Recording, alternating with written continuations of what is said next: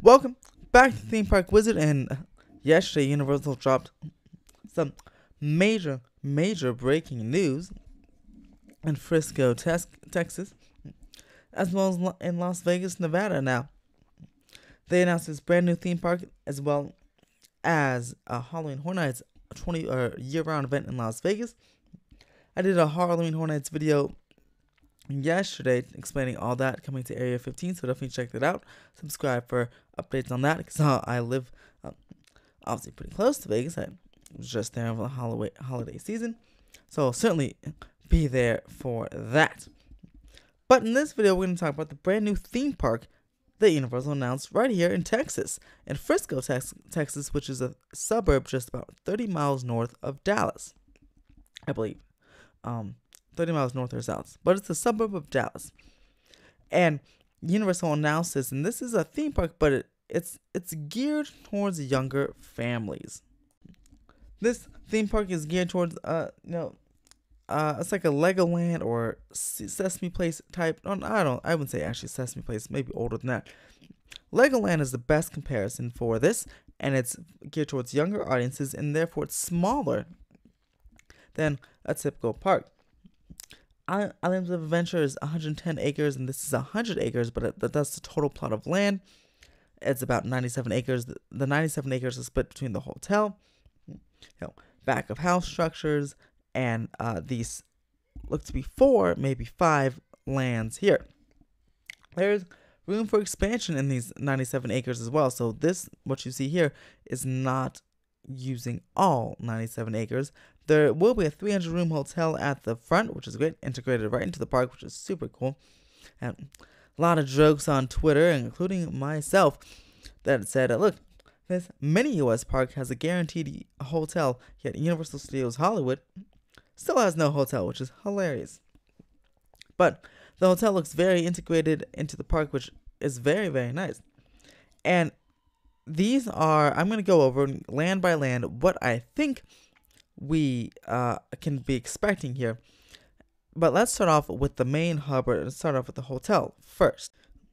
Alrighty, so when we get into the front of land, you can immediately see some clouds. I'm not sure if some of the clouds look transparent, so it may just be part of the concept art, and not the clouds like in the the the not on the sides. I'm talking about those clear, transparent clouds. I'll put an arrow to them so you know I'm talking about.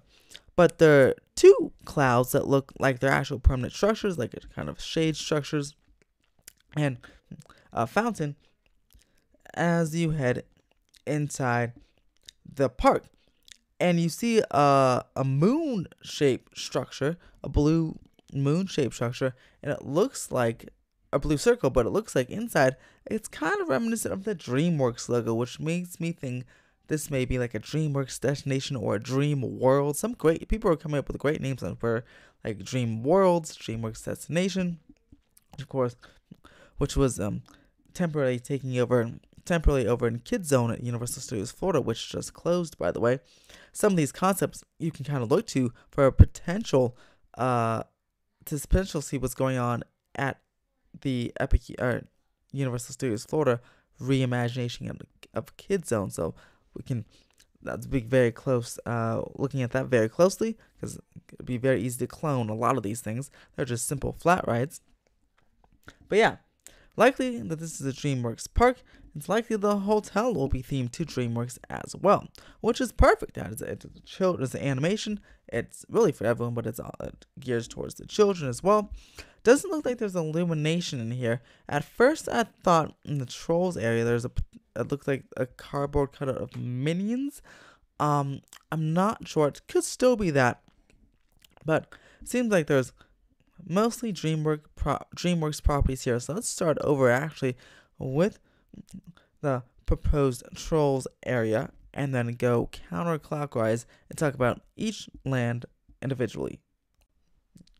Alright, so in the front we have the hotel. And then of course we have the proposed Trolls land. I haven't seen many of the, er, or really any of the Trolls movies, but I do know their kind of color scheme and their animation style and those poppies. Speaking of poppies, um, Poppy's a character in the Trolls franchise. those look like it looks like a troll area.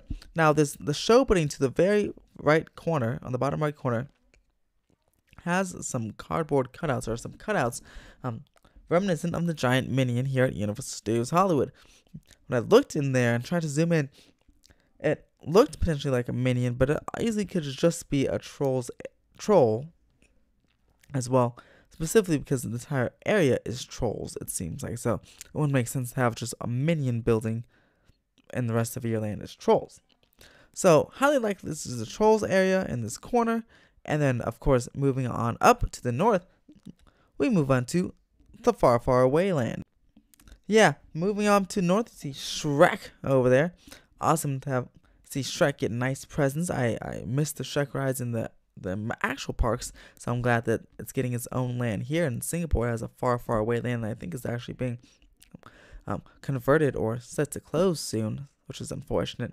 But yeah, you can see Shrek swamp here in a show building, and then it's like half it's the swamp and half it is a far, far away area with some flat rides, maybe an indoor boat ride. Uh, and some of these parks, like Madagascar, has an indoor boat ride in the Singapore park, and they're great. It's a family oriented kind of Pirates of the Caribbean style boat ride.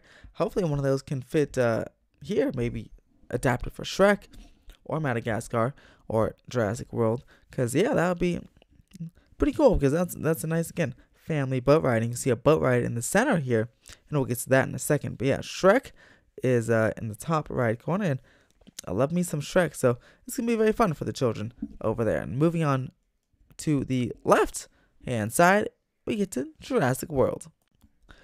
Yes, Jurassic World, the billion dollar franchise, it definitely has to make an appearance, especially because it makes such great, uh, such great experience environment for a theme park land, since the movie was a theme park, and this is looks to be based on the Jurassic World Camp Cretaceous uh, series on Netflix, which was fantastic. It had five seasons. It unfortunately ended but they're all great. They're very about ten episodes, about twenty five or so minutes a piece. I been every time a season came out, I binged it within like two to three days. It was very easy watch, very easy binge. It's a very good show. There's again all five seasons on Netflix right now, so it's not just for children. It is an animated show, but plenty of adults watch it too because it constantly made it in the Netflix top ten and even the Nielsen charts. So again, more than just kids are watching it, which is great. This area clearly resembles the Camp Cretaceous environment that they kind of lived in like a treehouse, a modern treehouse, and you can see that with those hut style structures uh, just above the Jurassic World lettering right there.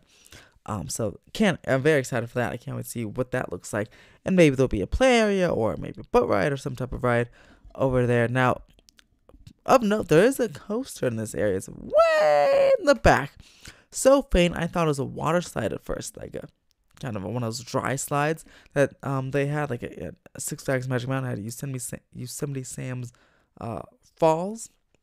That was kind of a water slide, but a dry slide. Where you sat on a mat. I thought it was something like that, but no. Uh, further upon further investigation, looking, it's definitely a roller coaster, a small kiddie coaster, and of course, Jurassic World. Out of these franchises, is certainly the most uh, likely I think to have a coaster, maybe a little mini Velocicoaster in here, but or it could be an up Pteranodon Flyers as well. Now, the last land I'm not too sure about. That's the one all the way to the left, just under Jurassic World. Not too sure about. Uh, I'm thinking Madagascar, but it could just be a generic park area. I was also thinking Kung Fu Panda because I thought I saw some statues that kind of resembled like Asian statues. So or like a panda statue. And I thought even some of those umbrellas, I thought those were like Chinese lanterns, but they turned out to be just umbrellas upon further investigation. Um, so not too sure about this particular land. Um, but whatever it is, it looks like it has a water play area, which is always fun for the children. And it's sure to be great. And I like how each land seems to be about the same size. Troll seems to be the biggest.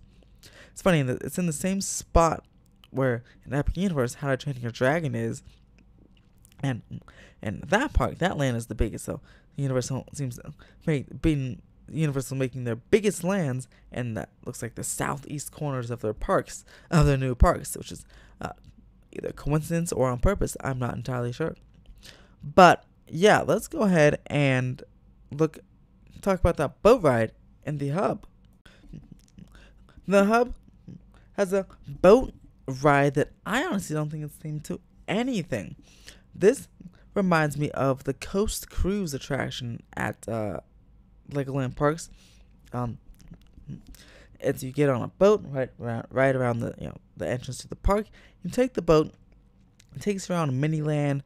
There's the mini land you'll say here in, at Legoland, California has a bay.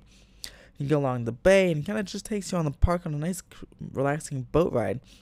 It's called the Coast Cruise, and there's some animatronic Lego figures of different replicas of things. This what that is what this looks like because you see you load right in the center of the, of the pond here.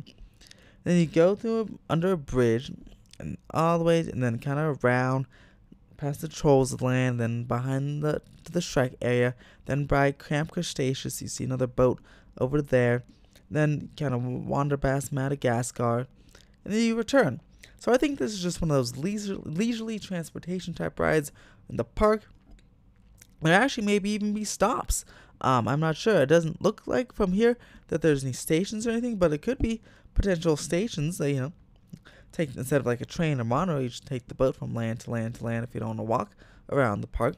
And that'd be fantastic too. That'd be a cool idea. Um, not many parks have that. Epcot does. Um, and Disney World parks and uh, Universal Orlando as well, between the hotels and the actual parks. But like within eh, within the park, I think only Epcot's the only, only one I can think of that has something like that, which is pretty awesome. To take, get around the world showcase, take the water taxi. This could be something very similar. But yeah, all in all, I think this is a great idea for a park.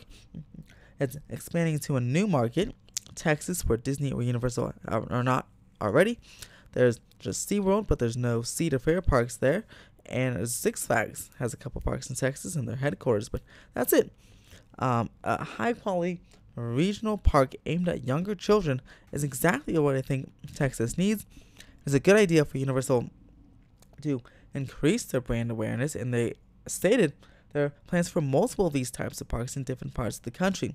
So comment below what other states do you think and cities would you think would be best suited for this type of environment? Again, uh, you can do realistic expectations or you can uh, do which one if you just want one near you. Comment down below. Just think uh, they probably want to put wouldn't want to put it in a snowy location because it would have to close or be seasonal like Legoland, Florida. But Legoland did it so they could. You never know. Let me know in the comments below what cities, states you think this could be in. What you guys think of this park? We was something you'll, if you live in Texas, would you take your children to this? Would you fly across the country to take your children to this? Um, let me know in the comments below. And as always, have a fantastic day and subscribe for more theme park updates.